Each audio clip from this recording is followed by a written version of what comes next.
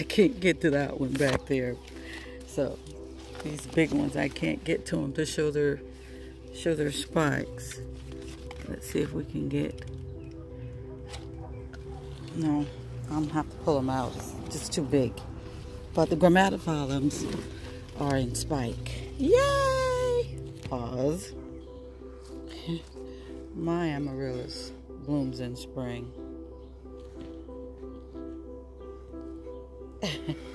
or flowers in spring. Then flower in the winter. I know you're tired of seeing my cannas, but I never get tired of them. And the hummingbirds either.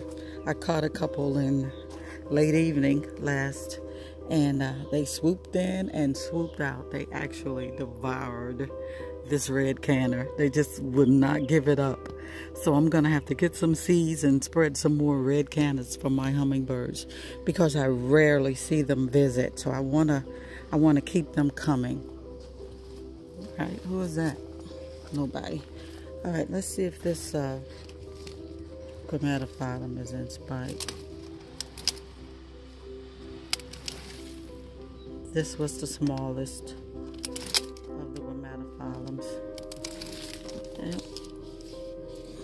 It's really tight in its pot. I can't get a visual right now, but that doesn't mean anything.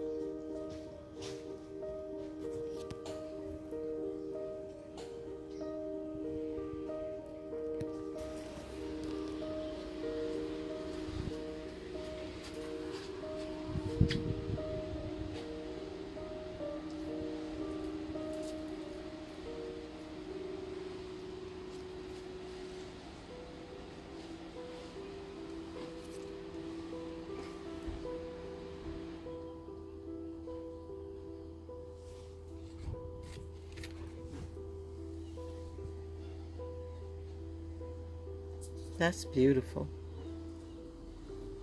Lovely. The flowers, flowers are really thick.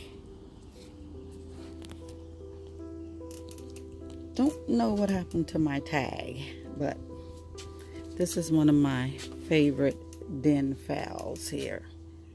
Yeah, I'll post a picture of it when they open. Absolutely. Love it.